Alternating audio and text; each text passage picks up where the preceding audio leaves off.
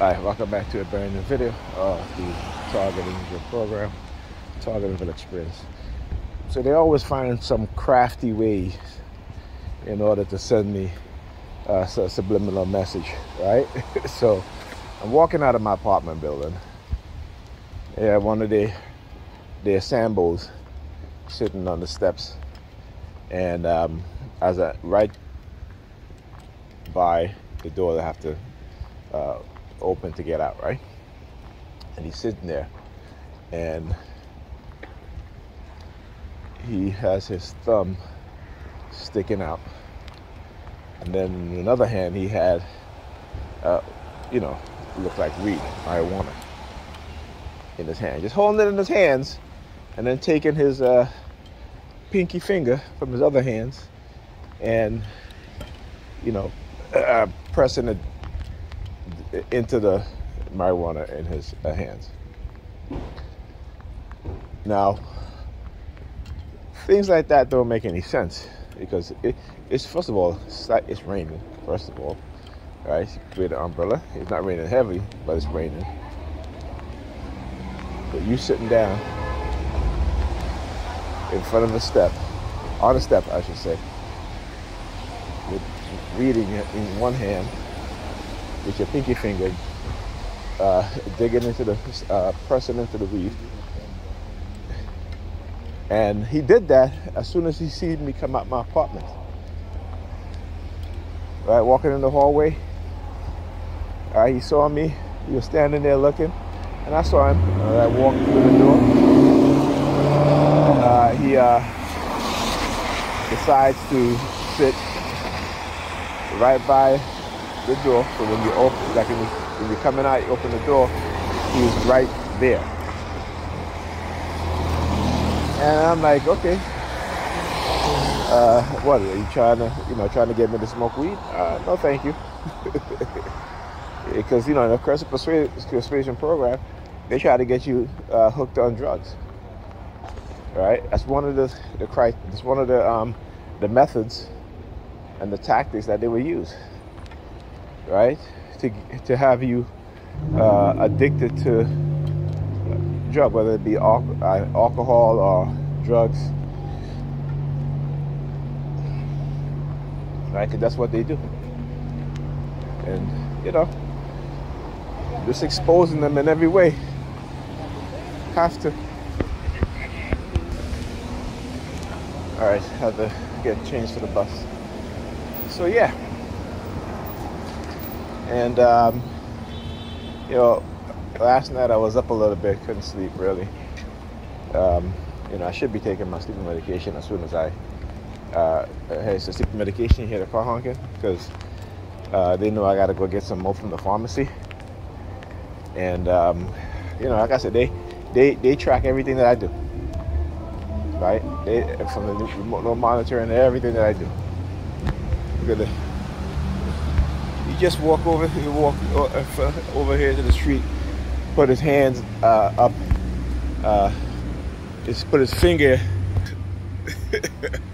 That's the traffic agent. So let me tell you, and they do it in such a way that I, I won't be able to record it, right? So again, it, it's it's what and what that does is, you know, put it in that. Well, you're gonna have to either are you gonna believe him, or you're gonna are you gonna take his word for it for what he says? That's a, hey, you guys, you guys should know. This is what I do. What I do. I'm showing you guys. I've talked about stuff that's happening to me and other TIs. No one believe it, so I'm showing you. All right. So this is the type of things that they that they would do. All right. And again, you know, whatever narrative they try to do or try to say, try to create, you know, like I said, I'm going to defend myself because these sociopaths and psychopaths love to uh, let you know, right? So this morning, my um, ex-fiance called me. Not this morning, yeah, this morning anyway.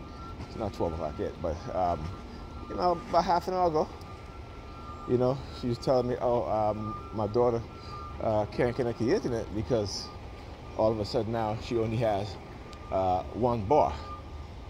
She goes, she only has one bar. It's weak. And I'm like, okay. That's not how you would describe uh, not being connected, able to connect to the internet or the internet, you know, um, being slow or you don't have good uh, reception for the Wi-Fi.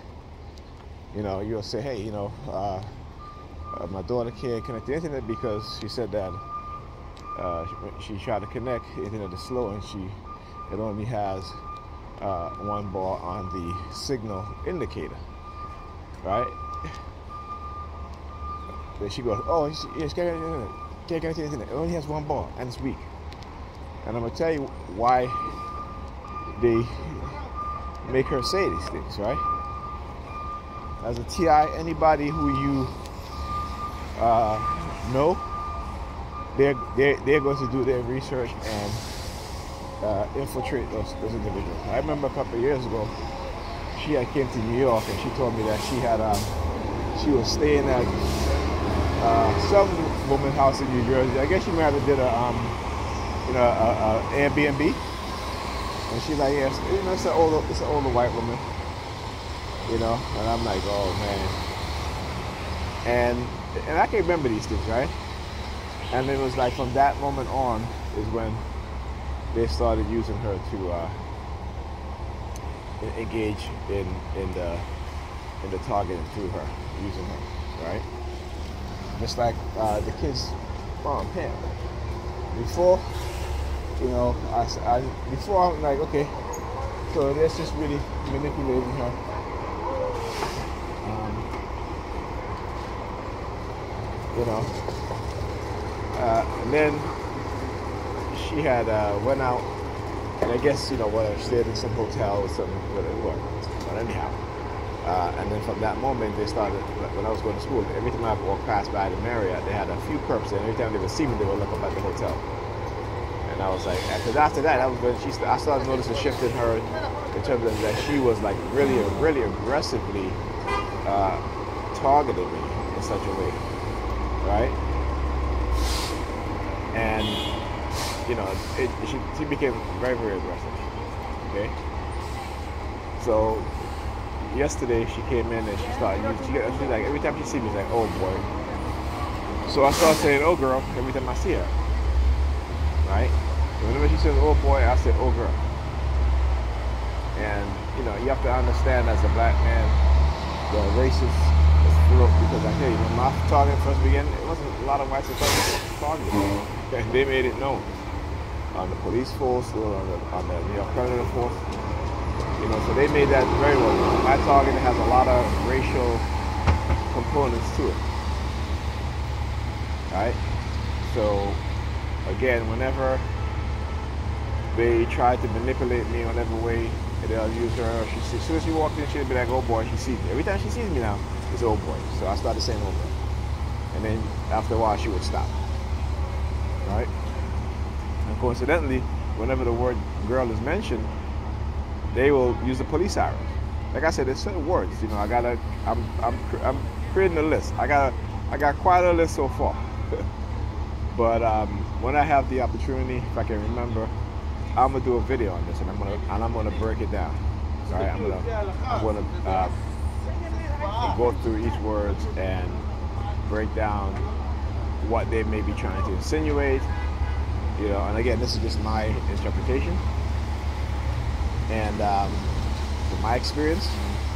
And so I'm going to uh, do that. Anyhow, I will talk to you guys on the next video.